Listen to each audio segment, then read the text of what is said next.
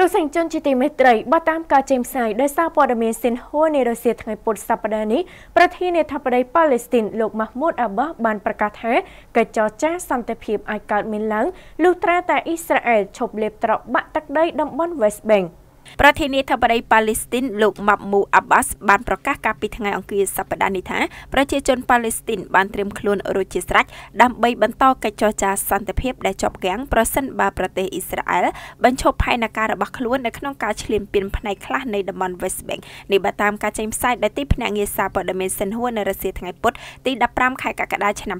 2020យោងតាមទីភ្នាក់ងារព័ត៌មានផ្លូវការរបស់ប៉ាឡេស្ទីន Wafa បានឲ្យដឹងថាលោកអាប់បាសបានលើកឡើងយ៉ាងដូចនេះនៅក្នុងកិច្ចសន្ទនាតាមទូរស័ព្ទជាមួយនាយករដ្ឋមន្ត្រីអង់គ្លេសលោក Boris Johnson កាលពីយប់ថ្ងៃអង្គារសប្តាហ៍នេះលើសពីនេះទៅទៀតលោកបានប្រាប់លោក Johnson ថាសមាជិកក្នុងជំនួបកម្ពុជាពហុភាគីដែលរួមបញ្ចូលអង្គការសហប្រជាជាតិសហរដ្ឋអាមេរិកសហភាពអឺរ៉ុបរុស្ស៊ីនិងប្រទេសដទៃដទៃទៀតត្រូវតែបដិបផ្ដើមកិច្ចចរចាសន្តិភាពណាមួយជាមួយនឹងប្រទេសអ៊ីស្រាអែលហើយកិច្ចចរចានេះត្រូវតែសមស្របតាមច្បាប់អន្តរជាតិលោក Abbas ក៏បានថ្លែងអំណរគុណដល់លោក Johnson ផងដែរចំពោះចំហរបស់ចក្រភពអង់គ្លេសដែលបានបង្ហាញការគ្រប់គ្រងឲ្យមានដំណោះស្រាយសន្តិភាពស្របតាមច្បាប់អន្តរជាតិនិងបដិសេធផែនការឈ្លានពានរបស់អ៊ីស្រាអែលដោយឡែកលោក Johnson បានបញ្ជាក់ឡើងវិញពីសារៈសំខាន់នៃកិច្ចចរចាសន្តិភាពរវាងភាគីទាំងពីរផ្អែកលើដំណោះស្រាយរដ្ឋពីរហើយប្រទេសរបស់លោកក៏នឹងបន្តកិច្ចខិតខំប្រឹងប្រែងនេះតទៅទៀតលោក Abbas បានប្រកាសកាលពី2ខែមុនពីការលុបចោលរកិច្ចព្រមព្រៀងនិងការយោគយល់គ្នា